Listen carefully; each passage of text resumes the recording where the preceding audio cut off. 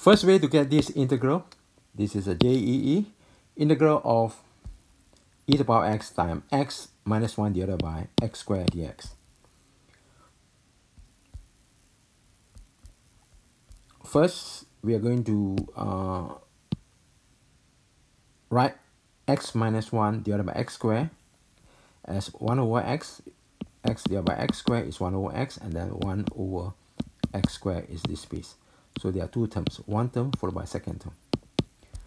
Now write 1 over x as x to the power negative 1, write 1 over x squared as x to the power negative 2.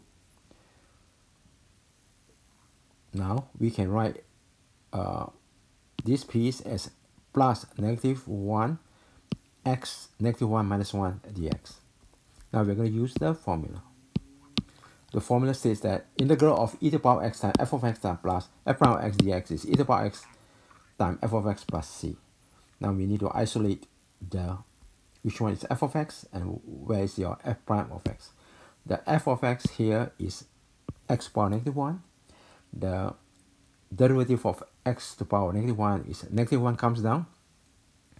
x to the power negative 1 minus 1 which is x to the power negative 2 and then this one times positive 1 uh, positive is negative x to the power negative 2 i.e. this piece oh sorry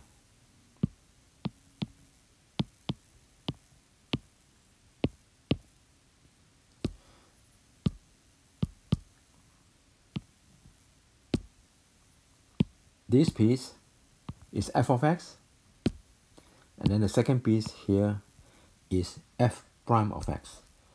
Therefore, using the formula, you just plug in the f of x, which is this, and write that as 1 over x. Done. Thank you for watching. Hope video is informative and helpful. Before you go, make sure you subscribe, share, comment,